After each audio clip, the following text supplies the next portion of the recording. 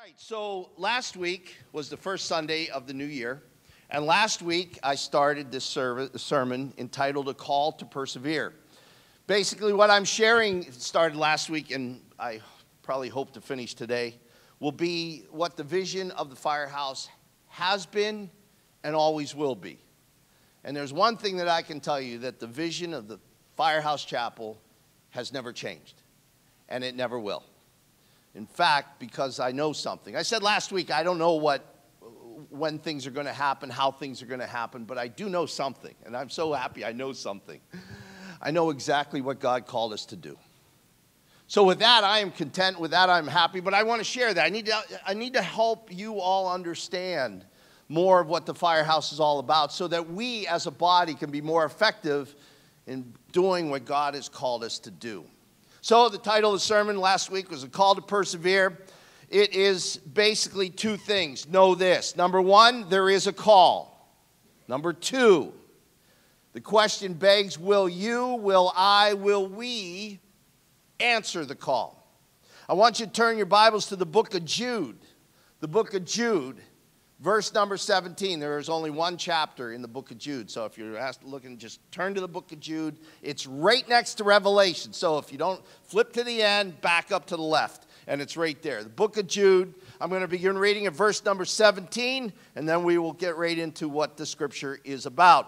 But, dear friends, remember what the apostle of our Lord Jesus Christ foretold.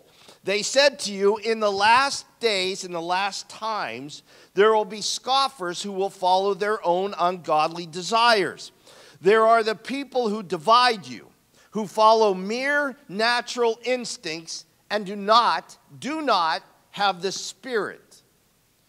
But you, dear friends, by building yourselves up in your most holy faith and praying in the Holy Spirit, keep yourselves in God's love as you wait for the mercy of our Lord Jesus Christ to bring you to eternal life. Verse number 22. Be merciful to those who doubt. Save others by snatching them from the fire. To show others mercy mixed with fear, hating, despising, being repulsed by, even the clothes stained by corrupted flesh. Lord, bless this word, and we ask God you open our eyes, and our hearts, and our ears, and our spirit to what you have to say. In Jesus' name we pray and ask.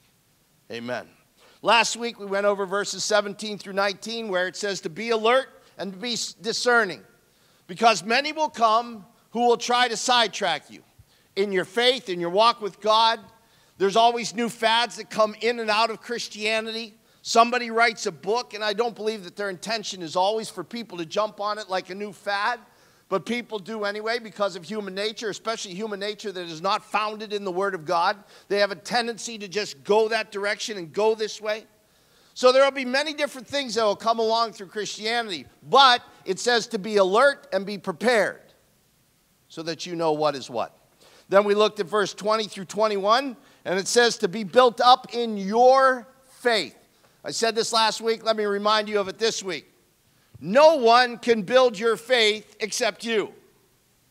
No church is ever designed to build your faith because you cannot build somebody's faith unless they want to. It just, it just can't happen. You can tell people, you can show people, you can instruct people, you can do diagrams and whiteboards and chalkboards and flannel boards. You can do all those different things, but guess what? Not a single person is going to grow in their faith unless they want to. It's just not going to happen. In fact, I think there's a scripture that says, talking about casting your pearl in front of swine. Basically, what that means is you can do the greatest presentation, you can do the greatest delivery, you can spell it out so plain and clear for people, but if they don't want to hear it, if they don't want to grow, they're not going to. So it says right here to build up yourselves in your most holy faith. And now here we pick up in 22 and 23, which is the heartbeat of the Firehouse Chapel. As well as it should be for me, and it is for you, and it is for this body. Let me say this, and I know I have somewhere in my notes, but I, don't, I can't remember. Let me say this to you. When I'm talking about this today, I want you to keep something in mind. Uh, what I want you to keep in your mind is I ain't just talking about this church. I'm talking about yins that are sitting in those chairs, me standing up here. I want you all to think about it and to understand that it is a responsibility that every single person who calls themselves a Christian, a believer, according to Scripture, has. But I can say that for the Firehouse Chapel, for this body, this is the mainstay of who we are. First thing it says, to have mercy on those who are wavering. Have mercy on those who are wavering. The odds are that there is, and I'm going to take this stretch the odds are there's not a single person in this room that in somewhere along their line, their faith has not wavered. I mean, my wife just proclaimed it herself at her very young age. I was waiting for you to toss out the actual age. At my age, I'm like, yes, what might that be? I still don't know. But I, I, I let me, I, I really believe that there's not a single one of us that somewhere hasn't doubted. And the thing is, I believe that this is a process of personal choice and desire whether or not you want to understand and you want to grow and you don't want to doubt. Now, if you want to know more, you will know more about your faith. If you don't, you won't. With that said, I believe this. It says to have mercy on those uh, who doubt. As you grow in Christ, your maturity level grows in Christ. Therefore, what has to happen? You should be able to show mercy as you grow in Christ. I always find this interesting. And, and I've said this before, and please don't and if I miscommunicate it, I'll try to explain myself after it's brought to my attention. I didn't grow up in church. Thank God. Because I don't carry into my Christianity a lot of stuff. But it's always interesting to me that the longer people are Christians, they forget about where they once were. But what's frightening is some people never think that they were somewhere else. That somehow, when they got squirted out of the chute, that they were this little angel of God. And that sin never affected their life, that they never had, that they were like birthed into it.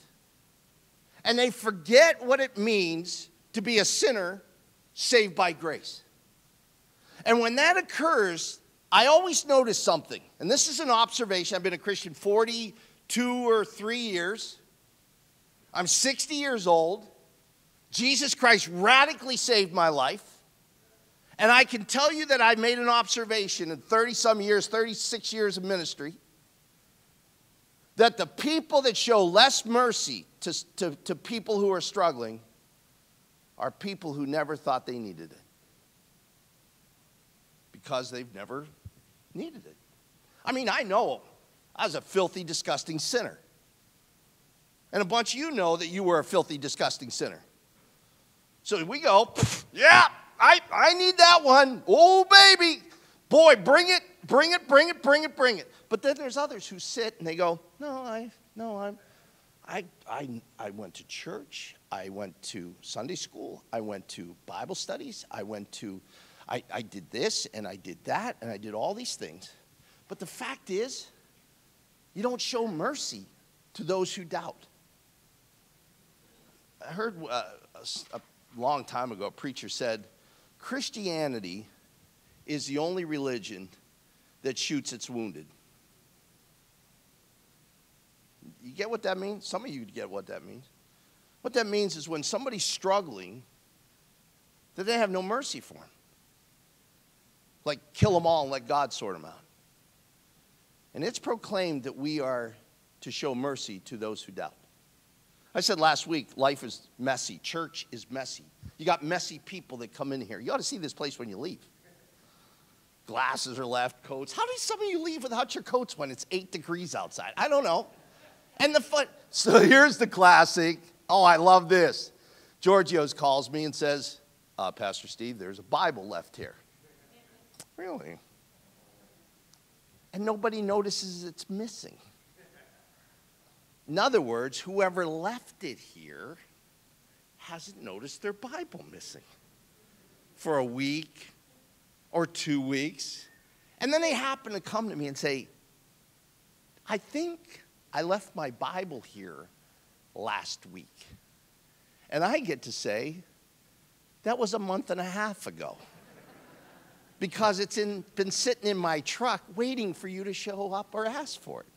Then it's like, oh man. Well, I have, I have another one. Oh, good, like your spare. You have your spare. That is true. I would threw that out there.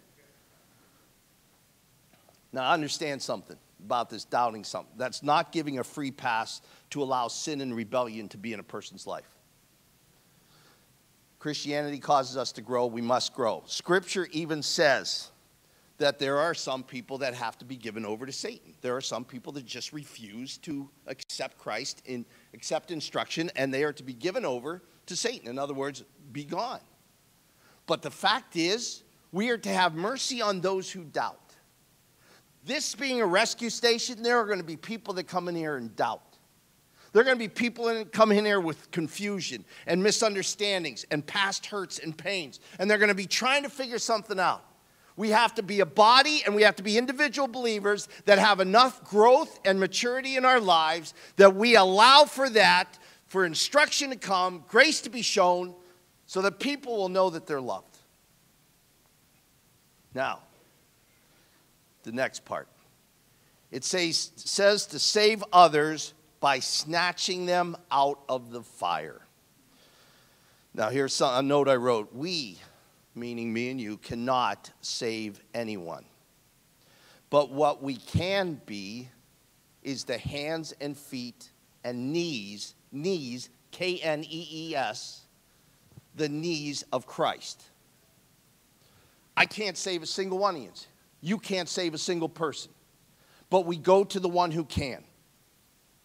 But it says here, there's an instruction given here that is very important for all of us. It says that we are to snatch others from the fire. I find this interesting. Some of you don't know the history of the Firehouse Chapel. You don't know why we're called the Firehouse Chapel. We are, well, no, not true. Somebody stole our name in Minnesota. Somebody, there's now another Firehouse Chapel. Yes, yes, in Minnesota. I think we need to go take a little road trip. Say, that was our name, give it back.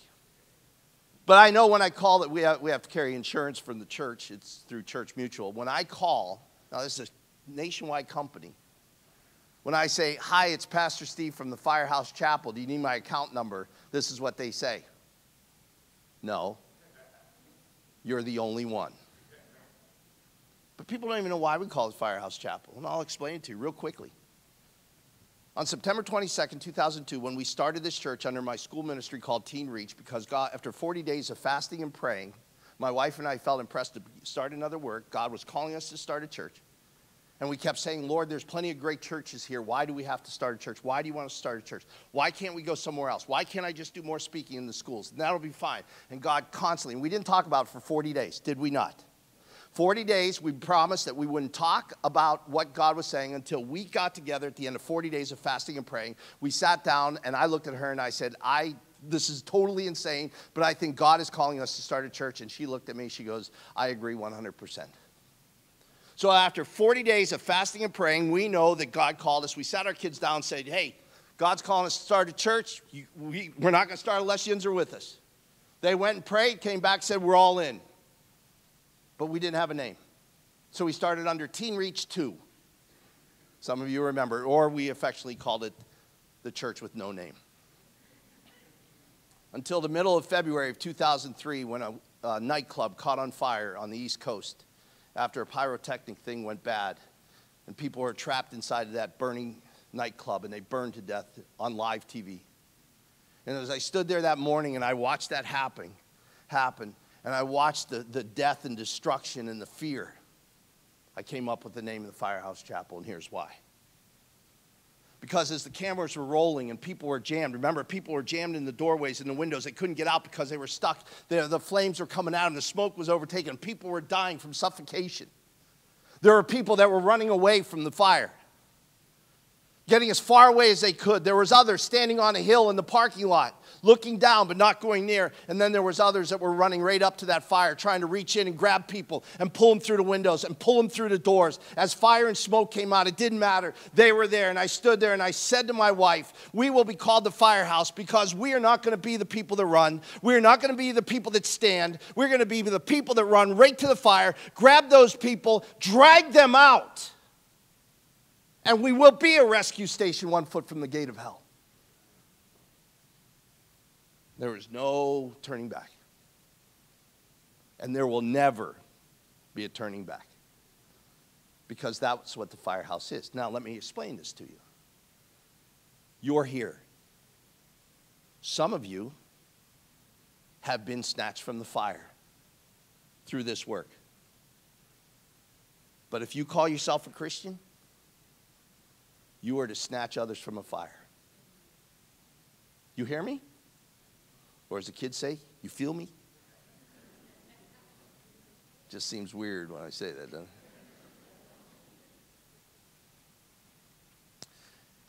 This term here in the scripture, where it says save others by snatching them, it's an interesting term. People just read right by it. There's a lot to that term. In fact, if you go to the Greek, you discover what that term really means. Snatching means this it refers back to a wild beast that has got a hold of a prey and has clamped its jaws or its arms around it and will not let it go. It has totally and absolutely grabbed a hold of it, and there is no, nothing that is going to release it. It is a term that is referred to taken by force. It's not a little two fingered crackers. Come here. Come on, Graham. They're like, why do you call him crackers? His first name's Graham.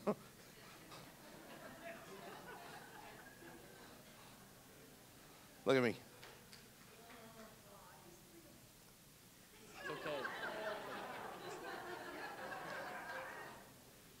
No, uh, yeah. Oh, oh, wait, wait, wait. This could be interesting. It's all for missions. Yeah. All right. We're going to take an offering.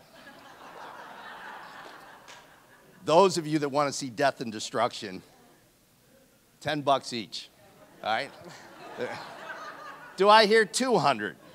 It's all going to Nana's house. Do it for missions. Yeah. It's not a little two finger grab where he, if he backed up, he would pull out. That, that's not snatching anything.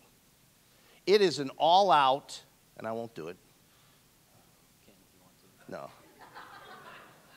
For example. You see who's sitting there? Yeah. I can't. Now, if she wasn't there, we could dub this right out of the video. Yeah. You know what I'm saying? it means you have snatched somebody. And there is no way that you are going to let them go because you have a grip on them and you are not going to let them go. I'm going to give you a new sweater.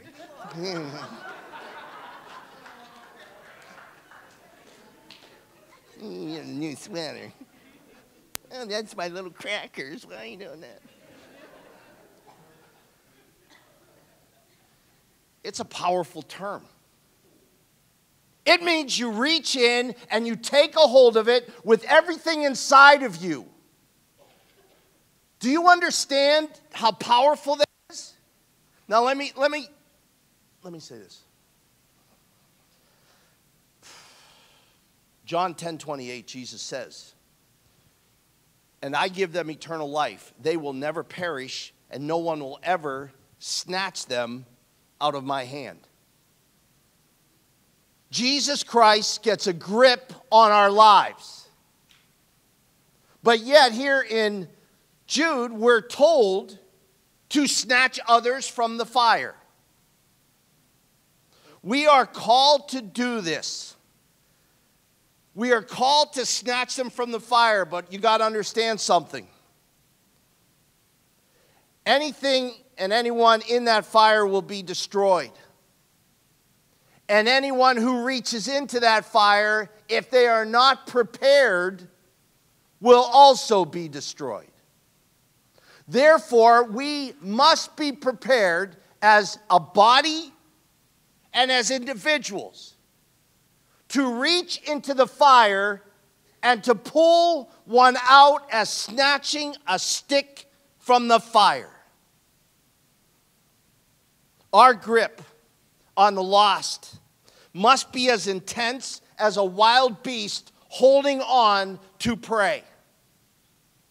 It has to be that intense. People want to know what drives me.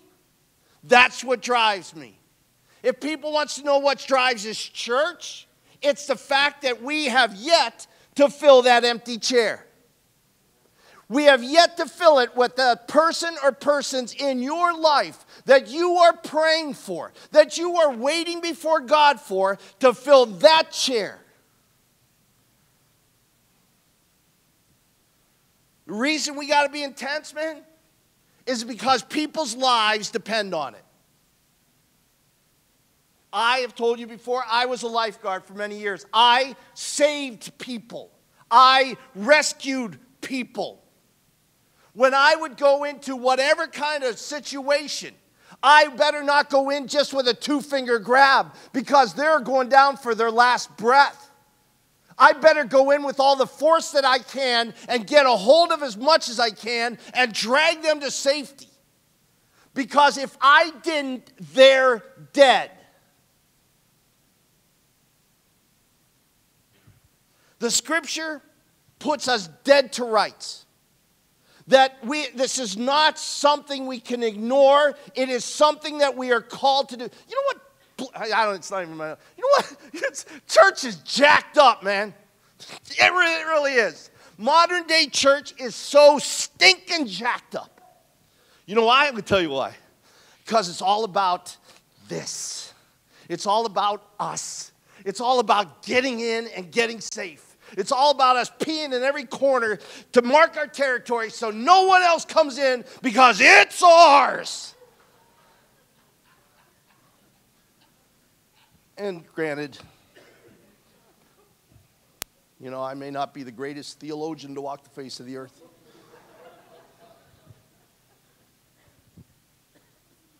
But I do understand Scripture. Nowhere in the New Testament did they ever build a building. You know what they did, in fact? The apostles looked at the body and said, Sell everything you have, bring it together, and we will take care of each other's needs.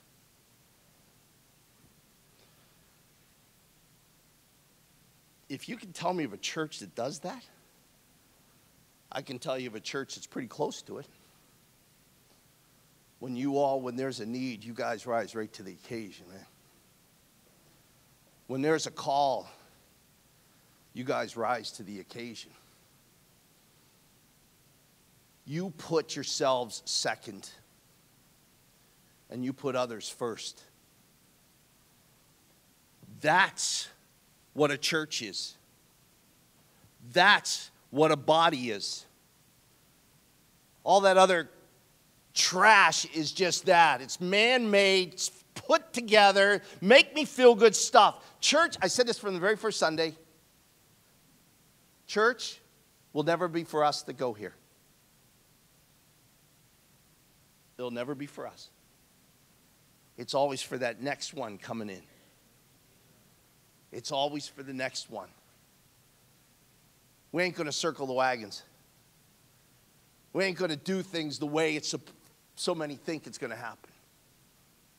We're going to snatch people from the fire. Here, real quick. How do you apply this to your life?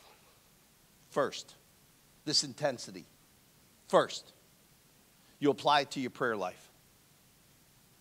Think of that person or persons in your life that no matter how many church services they would go to, no matter how many times you would sit and share scripture with them, no matter what, they ain't budging. You got that person or persons in your mind? Okay. You know what will change them? When you storm heaven. When you go at it with everything inside of you. Instead of walking into prayer like, prayer. You go in realizing that this is an opportunity for me to begin to be part of saving someone's life. See, to me, it's so simple. What drives, what drives her, what drives this church is saving people. Not caring about whatever. You know what's so cool? Some of you don't even know this. Do you know that all this just doesn't magically show up in the morning? Any of you know that? When we come in here, the chairs are set up, but Ray is putting them all together. And he's praying over every one of them, I think. oh, you forgot to. That's all right, Ray. Don't worry about it. But all this just doesn't magically show up. You know what's interesting about the guys that show up for setup? Which is the band, myself, some others that come. Scott snags the trailer, I snag the trailer. You know what's cool about it? We never complain about it. I, we, we make fun of each other. We talk about medical conditions. We make fun of things.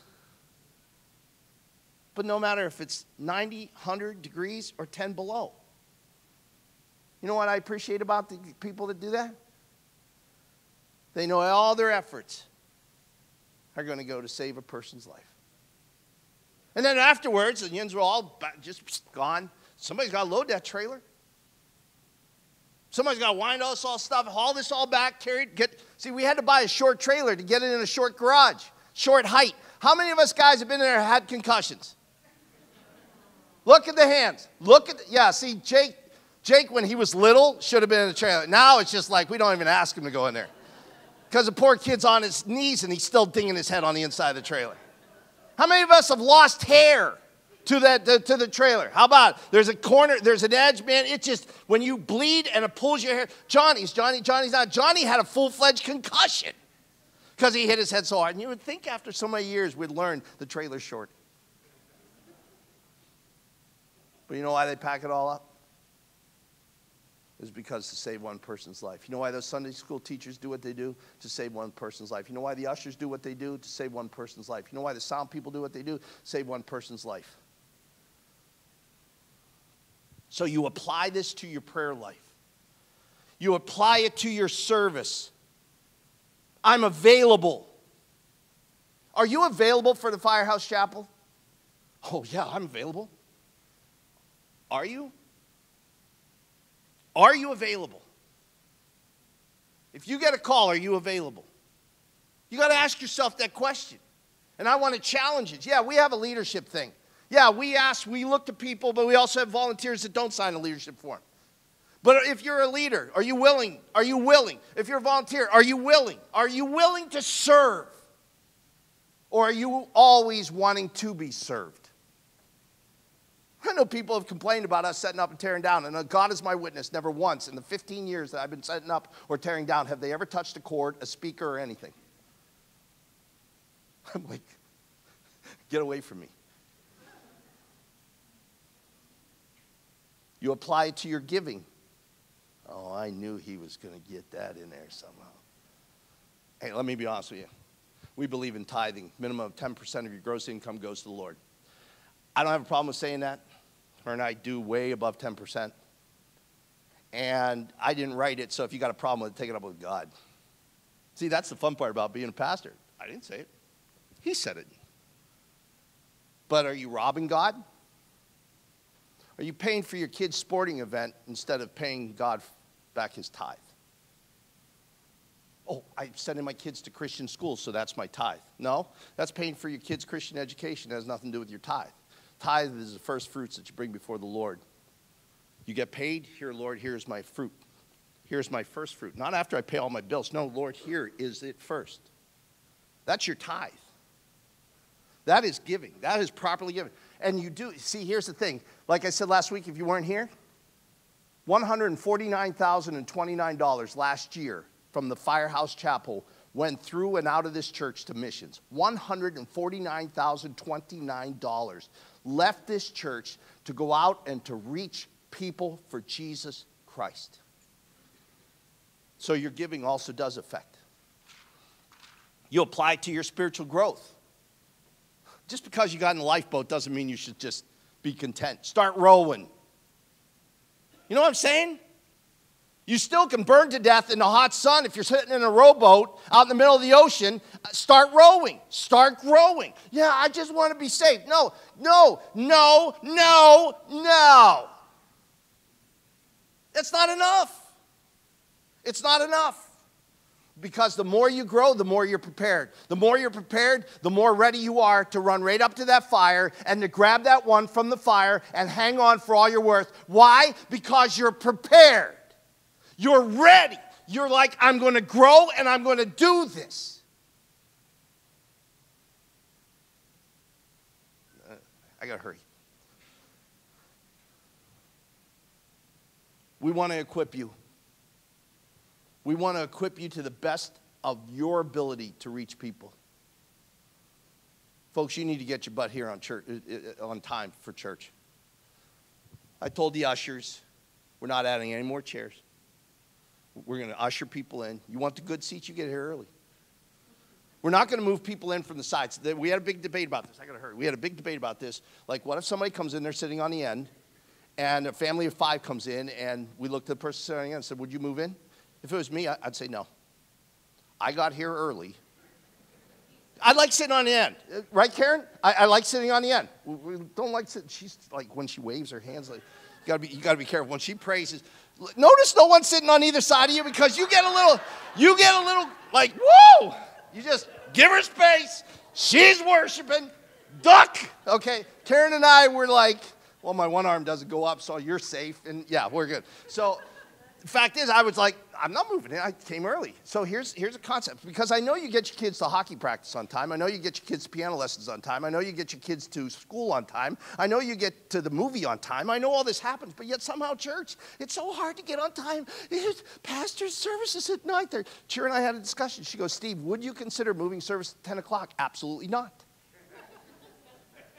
She goes, are we going to talk about it? I go, absolutely not. No. No. 9.30, I like 9.30. I would prefer 8.30. Right. But the fact is, we got children. Oh, only on Sunday? What do you rent them out the rest of the week? And then, oh, we got to, are we missing something? Let's go find the kids. Where's the kids? And you bring them from wherever, and they're like, here we are. We, folks, it's about rescuing people. And worship, let me hear real quick. Worship builds you up. It's just not the words, it's the worship builds you up to. So get in here. That's the vision of the Firehouse Chapel. We are called to persevere. Look, before I pray, you are called to persevere we, usins, are called to persevere. Father in heaven, I thank you for your word.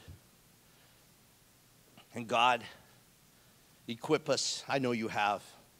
Fill us with your Holy Spirit. I know you will.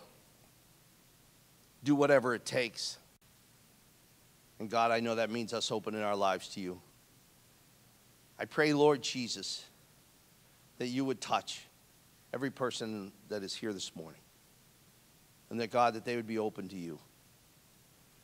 At first, Lord, I pray for those in this room that don't know you, that they're lost, they're empty. They are filled with sin or the world, they're unrepentant. I pray today, God, is the day of their salvation. That today is the day, Lord, that they reach up and take hold of your arm and accept you into their life. With your heads bowed for just a moment, we do this every week. I ask this one simple question. If there's anybody here this morning that wants to pray to accept Christ in their life, I want to pray for you. How we do it is I'm going to stay here, you're going to stay where you're at. And if you want to pray, I'm going to ask you to look at me in just a moment. I'm going to lead you in a prayer. You have to pray from your heart. And then you're going to start walking.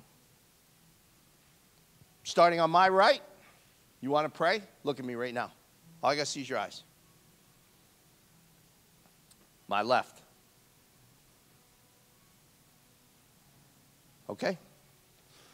Well, let's pray. Father, I thank you for each and every one that's here today. And God, I know you're doing the amazing. You will challenge, but yet, God, you have called us to persevere. And we will, through your strength, rise to the calling. Why don't you all stand? If you would like prayer this morning, we have people here that